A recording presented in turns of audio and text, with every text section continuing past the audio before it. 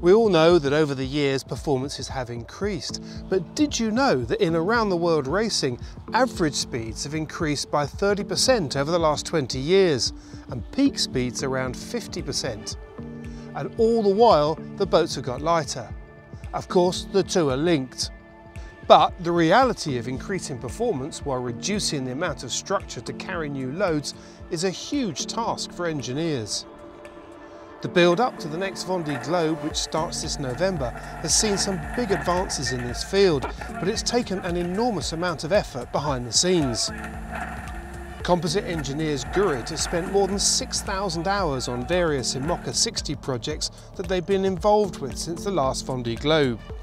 And the results are spectacular. As well as working closely with Charal, who were the first team to show what the new generation of IMOCA 60s could do, for the next Vendée Globe, seven of the eight new 60s will be using Gurit materials, while the company's engineers have been working with 12 teams.